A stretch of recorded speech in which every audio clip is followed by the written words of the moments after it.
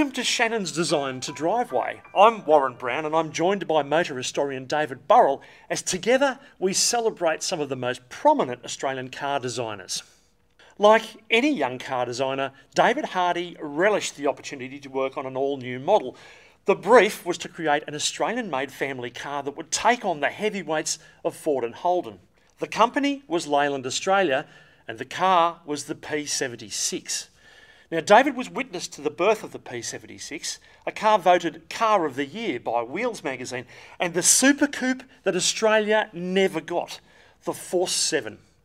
As we've come to know, the Leyland P76 is largely defined by perception and myth. When Leyland manufacturing closed, David moved into industrial and appliance design for the next 30 years. Did the P76 kill the company, or did Leyland kill the car? I'm really excited to find out as David Burrell speaks with the man who was on the design studio floor at the time.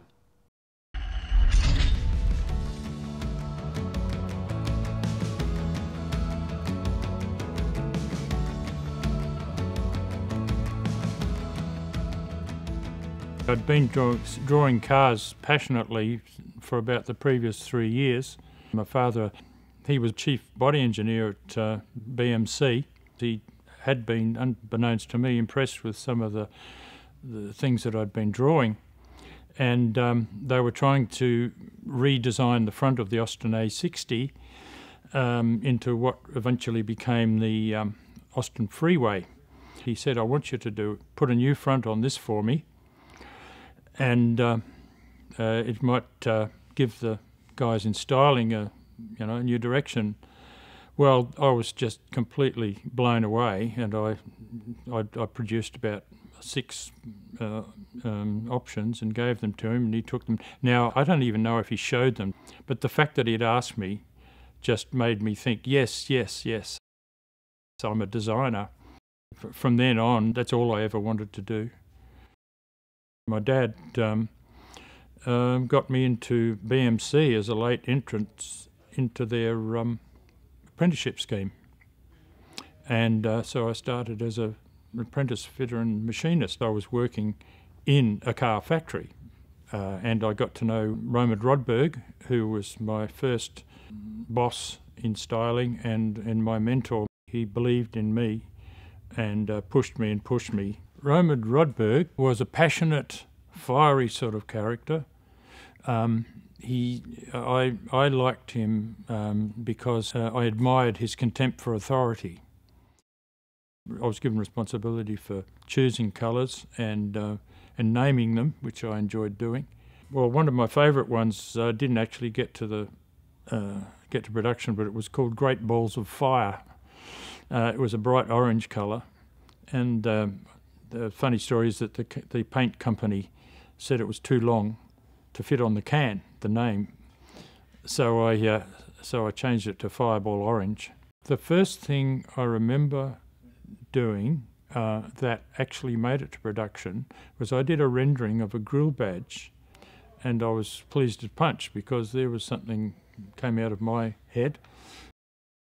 The the cars that, that BMC and Leyland had been making up to that point didn't really um, conform to what the Australian, the bulk of the Australian car buying public wanted, um, and that was you know, the the the um, the Holden, the Falcon, and the Chrysler, which was large, um, six seater as they called it then. You know, large engine, uh, capable of carrying a family and all their luggage over long distances. It was seen by the company hierarchy that we needed to do something different to keep hold of the, or to, to, to really um, have a place in the Australian market um, and still make a profit. Uh, the cars had been selling reasonably well up to then, but were losing money. It started with um, a small group of team of people called the Advanced Model Group, who were um, headed by my father, Graham Hardy. He was given the responsibility for the uh, conceiving the body part of it. When they decided that they wanted to actually design a car around that, they then started looking to um, overseas. Uh, there was the Longbridge Studios in England uh, of of Leyland. In Turin, there was um, the uh, Italdesign. When all these drawings were put together, um, and uh, for some choice to be made, Romand had been working on his own ideas without any without being asked to, and uh, he put his ideas up on the board along with all the others. And uh, so Romand said, "Well, uh, you might like to look at these ones as well."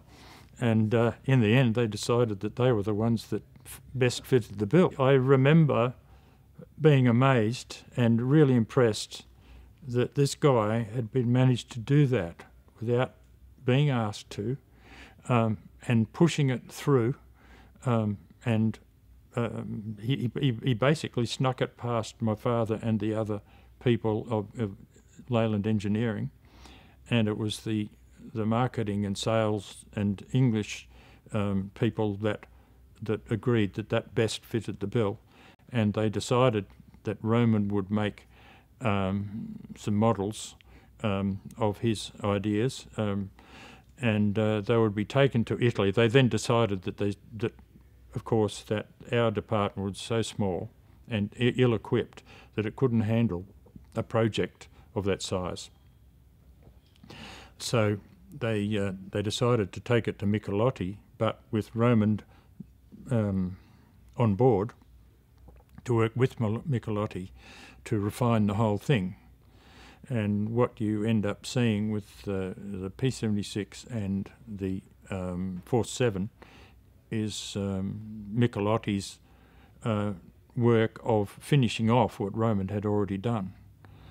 Um, whereas uh, uh he, uh, Romand, got hardly any um, credit at all for what he had done. Um, he came back from Italy very, very unhappy. What you should understand is that the um, P76 was approved by management on the basis of photographs of quarter scale models, which is ridiculous. Um, but that's what they did. Um, and uh, so they had all these models set up for photography uh, the next day. And uh, when Romand came in that morning, found that uh, his model, all the paint had completely peeled off. It was completely ruined, and it wasn't considered as a as a candidate. Uh, and told me never to tell anybody that he thought this, but here I am telling you. Um, he believed that Michelotti's men sabotaged it that with solvent or something because he couldn't see how the paint would have come off on its own. This revelation confirms what has been suspected for many years. The P76 could have looked more appealing. As we know, Romand left the company upon his return from Italy and never returned to car design the HQ Holden is regarded still and was then as as a, a beautiful piece of of car design. I, I, thought so when it came out. I still do. It was the same dimensions, uh, the, all the, the, the, key dimensions of length, um, overall length, overall width, track, wheelbase, height, everything was all pretty much the same. And yet the HQ looks um, well proportioned. It looks it sits nicely on its wheels. The P76 um, appears to be too big for its wheels. It boils down to one thing that the wheel arch flares on the HQ Holden, they start from the top and they get about halfway down and then they melt into the body sides. On the P76, that's how they were on the original quarter scale model, which was approved somewhere between there and the uh, full scale model, somebody decided the uh, wheel arch flares now go all the way to the bottom. And from anything less than a slight angle um, of a three quarter front view, you can't see the wheels. A car should look like it's planted on the ground, on the road, and should look stable. The P76 doesn't. And that's the basic reason the simple fact that the wheel arch flares have been taken all the way to the bottom of the wheel arch and not cut into the sides. Sounds silly, but that's what it is. How easy is it to make or break a car with simple design flaws? Holden made the same error with the HD and Chrysler with the VH Valiant. Hidden wheel arches create a top heavy appearance, sales are impacted, the bottom line's reduced. The cavernous boot um, is uh, the result of a part of one of the requirements of the uh, advanced model group when planning the car right from the beginning was to have a totally usable large boot um, with and, and part of that was um, requirement to have the spare wheel mounted upright, also without an external bulge. Uh, and that sort of started to dictate the height of the um, the top of the boot lid, which I never saw as a great problem. I thought the problem was the uh, the treatment that they, the surface treatment of the boot lid. I think they could have done that a lot better, uh, and I think they were somehow trying to disguise its size. Uh, somehow they managed to make it worse. They being um, the engineering people combined with the people in Turin. Those two things, the wheel arch flares and the boot lid shape, are the, the main things that caused the public to um, dislike the P76. The parent company was so cash strapped, they were going under in the UK. Um, they said, no, you've got to get these onto the market. We've got to have some money coming in now. So they were shoved out onto the market before they were ready. And uh, what was unknown at the time was that mistakes had been made in the design of the jigs that held the body panels together uh, while they were being spot welded, and um, which caused them to be under undue stress or to be slightly out of alignment, and um, doors didn't fit their apertures properly, uh, and um, things like the, the, stainless steel moulding around the windscreen, which was held on by clips, it was known to actually fly off if the car was it went over a bump. Silly things like that. They, they put in a whole a program uh, of uh, designed to investigate everything that was wrong with the car. Uh, the cars they were building at the time of um, uh, closed down were, were of good quality. The car that went in the rally, they brought uh, they brought it into uh, our styling department. I put this um, spear-shaped um, metallic blue and gold stripe down the side with uh, with Australia and a Southern Cross on it. In my mind, this was golden stars in the night sky, and um, the idea was that this car was going to be going all over Europe and um, everybody would know where the car came from. It had Southern Cross and the uh, um, Australia on the side. The World Cup rally is a high point in the P76 story, carrying David's bespoke livery. It confirms that, once sorted, the P76 lived up to Leyland's expectations. Leyland also had lofty aspirations for the Force 7. It's, it's quite impressive, but what we could have had was something totally unique it wouldn't have looked like anything else. You wouldn't have compared it to anything. Instead of sloping um, um, under, it sloped forward. Uh, the the top edge was um, back from the bottom edge, so the whole thing had this scooped shovel kind of effect, and um, combined with um, uh, nostrils. Romand did the rest of the body. To me, the the Force Seven body looks great, but it would have been heaps better if the wheels were bigger. But that was part of the the the initial um, body design of the as it was planned in the, the hard points. They were hoping eventually that the um, Force 7 would would be a Bathurst winner. They they genuinely believed that. Yes, um, it would have happened, but uh, we had to stay in the game for that to happen. and uh, history says we didn't. The, poor old Force 7 actually never actually made it into the showrooms, in spite of the fact that they'd built something of 50 odd of them, but uh, they had, didn't have their uh, um, Australian design rules accreditation, the, the, the compliance plates, uh, which you had to pay money to get. And seeing as the company was going under, they didn't see any point in uh, in getting that. So the cars that they had built um, they couldn't sell, not through the normal processes, and they so most of them were destroyed. When we first got the 7 uh, fiberglass model all dressed up and was in the styling studio, and uh, uh, David Beach came over to look at it, and uh, he stood beside me and said, "What do you think of it, David?" And uh, I said, "Well, I think it'll look great with a with the uh, the Jaguar V12 in it." And he said, "Oh, we'll do our own V12." It just so happened I was involved in this iconic thing. The car that uh, some people think killed the company, it was the reverse. The company killed the car. You know, I enjoyed the fact that at that young age, there I was having designed something, and there it was in production.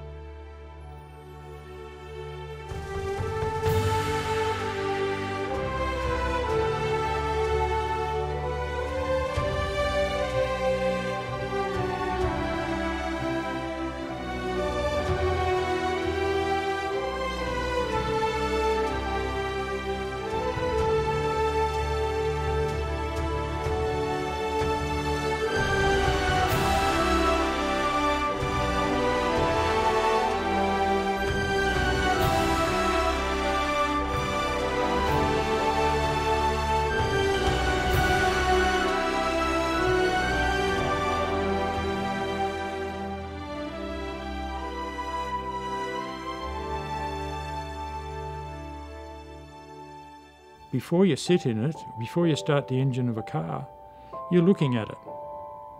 And that, that's going to make a difference as to the way you feel about that. You know, you, if you want to drive it before you start the engine, then the designer has done something good.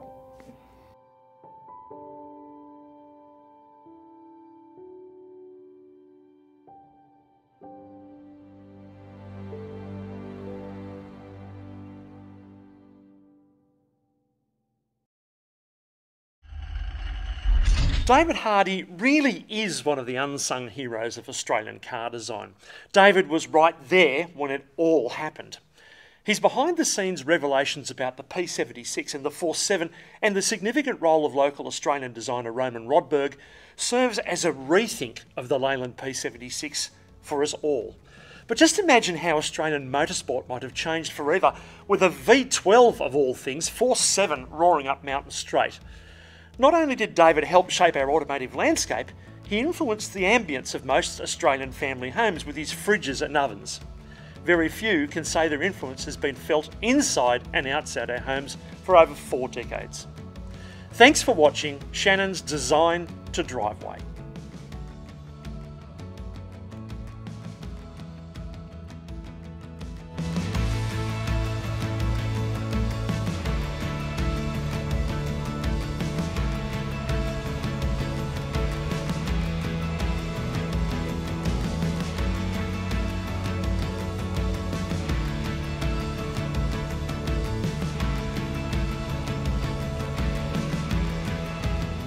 In this episode, it's Ford designer Graham Wadsworth on the polarising AU Falcon, how the Ford Design Studio turned the sales race around, plus Ford's motorsport heritage which inspired the design of the Falcon performance models, and in a series exclusive, top secret Aussie designed Ford Mustang, the car that Ford boss Jack Nasser killed on sight. Join Warren Brown and David Burrell in the new must watch series Shannon's Design to Driveway.